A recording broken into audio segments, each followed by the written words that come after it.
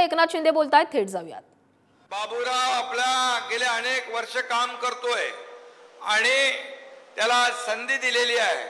सर्वसामान्याला संधी देणार बाळासाहेबांची शिवसेना आहे.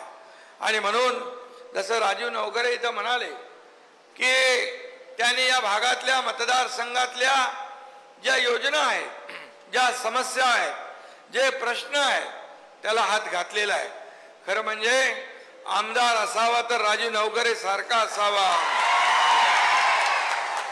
कारण शेवटी सरकार म्हणून आपल्याला काही मिळवायचं असतं तर त्यासाठी आपल्याला पाठपुरावा संघर्ष कधी कधी करावा लागतो. आणि त्यांनी जाहीरपणे काही पोटात एक ओटात एक ठेवलं नाही. मला त्यांनी प्रामाणिकपणे सांगितलं साहेब या मतदारसंघामध्ये आमच्या ज्या काही मागण्या आहेत समस्या आहेत त्या आपल्याला सोडवायला पाहिजे. मी म्हणालो हे सरकार सर्वसामान्यांचं आहे शेतकऱ्यांचं आहे कष्टकऱ्यांचं आहे कामगारांचं आहे माता भगिनींचं आहे तरुणांचं आहे तरुणांच्या हाताला काम मिळालं पाहिजे म्हणून वसमत येथे आपण एम आय डी सी जाहीर केलेली आहे. आणि त्यामुळे एम आय डी सी होईल रोजगार मिळेल तरुणांच्या हाताला काम मिळेल. बरोबर ना? आणि म्हणून आज मी एवढंच सांगेन बाबूराव हा शेतकऱ्याचा मुलगा आहे. सर्वसामान्य तुमच्यापैकी एक बाबूराव इथं उमेदवार आहे. आता सर्वसामान्य माणसाच्या घरातल्या उमेदवाराने निवडणूक लढवू नये असं काही कायदा आहे. परंतु काही जे सरंजामदार आहेत आता बाबू मी राजूच्या घरी गेलो होतो. त्याचं घर एकदम साधं आहे. साधेपणाने राहतो परंतु तुम्ही त्याला निवडून दिलं आज विधानसभेमध्ये तुमचे प्रश्न तो मांडतो. म्हणजे शेवटी आपलं हे महायुतीमध्ये जसं शिवसेना भाजपा गठबंधन होतं. मी आणि देवेंद्रजी काम करत होतो. पहिल्या दिवसापासून या राज्याच्या विकासाचा आम्ही संकल्प केला निर्धार केला. आणि शेतकऱ्यांच्या साठी सिंचन प्रकल्प मंजूर केले. अनेक योजना मंजूर केल्या.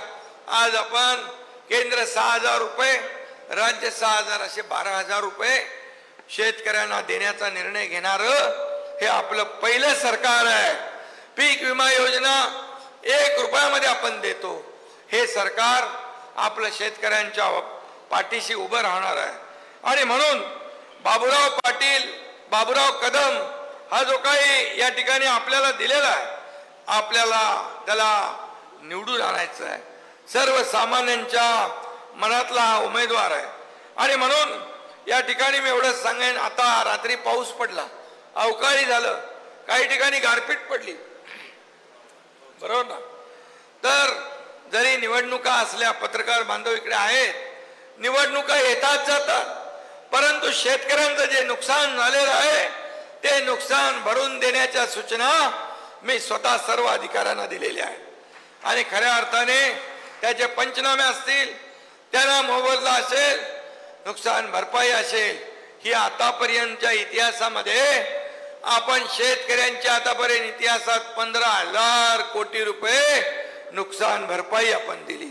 शेतकऱ्यांसाठी पस्तीस हजार कोटी रुपये विविध योजनांसाठी आपण दिले. सिंचन प्रकल्प महाविकास आघाडीत दोन चार प्रकल्प मंजूर केले होते. राजूला माहिती आहे आपण किती केले? एकशे बावीस. सिंचन प्रकल्प आपण मंजूर केले हे पहिलं सरकार आहे. शेतकऱ्यांच्या पाठीशी उभं राहणार.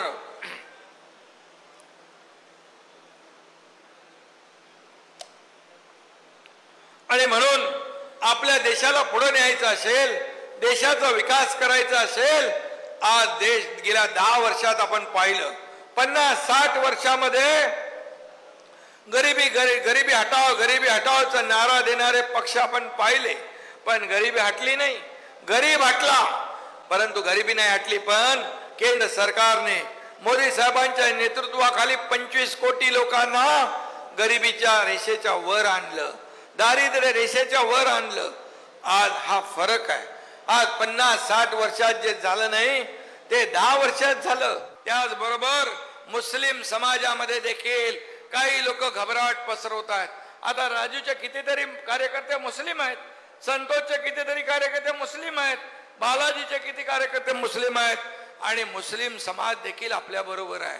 आज अजितदादांच्या बरोबर आहे शिवसेनेच्या बरोबर आहे आपल्या बरोबर आहे. मी तुम्हाला उदाहरण सांगतो माझे जे कार्यकर्ते आहेत जीवाभावाचे माझ्या घरात माझ्या सोबत असणारे माझ्या गाडीवर देखील माझा सारथी म्हणून काम करणारे मुस्लिम समाजाची मुलं आहेत. मुस्लिम बांधव आहेत. आणि म्हणून आमच्याकडे काही असे भेदभाव नाही. बाळासाहेबांनी साबीर शेख यांना मंत्री केलं होतं. या एकनाथ शिंदेने अब्दुल सत्तारला मंत्री केलं. मुस्लिम आणि हिंदू शीख इसाई हे सगळे लोक एकत्र आहेत.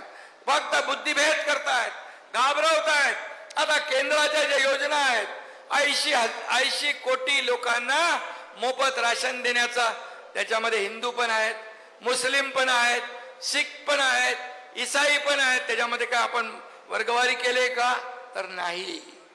आणि म्हणून ज्या केंद्राच्या योजना आहेत त्याचा देखील लाभ हिंदू समाजाप्रमाणे मुस्लिम समाजालाही मिळतो. फक्त घाबरवण्याचं काम सुरू आहे दिशाभूल करण्याचं काम सुरू आहे.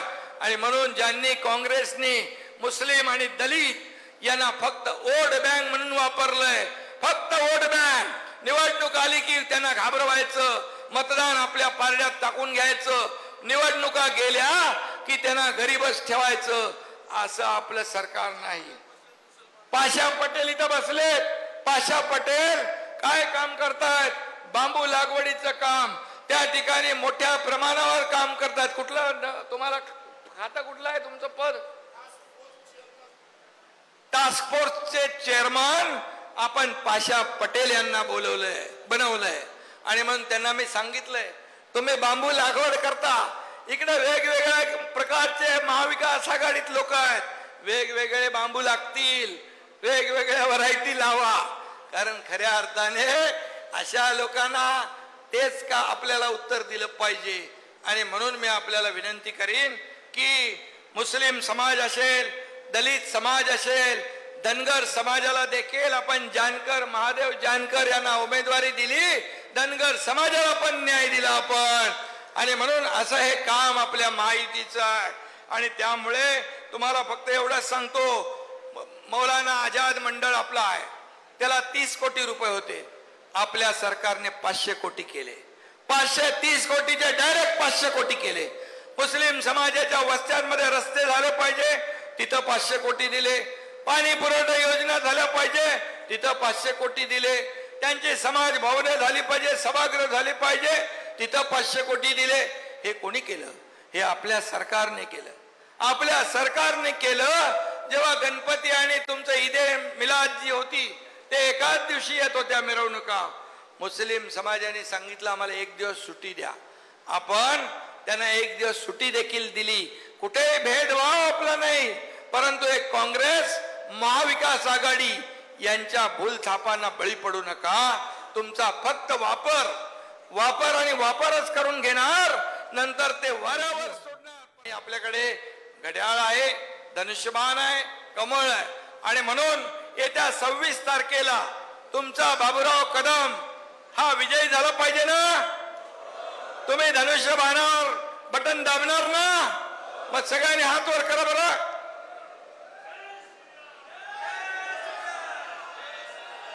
आणि म्हणून मी आपल्याला विनंती करतो राजू तुझे जे काय तुझ्या मतदारसंघातले प्रश्न किंबहुना इतरही आपले पाच सहा मतदारसंघ आहेत यांना देखील न्याय देण्याचं काम आपलं सरकार केल्याशिवाय राहणार नाही एवढा शब्द आपल्याला देतो.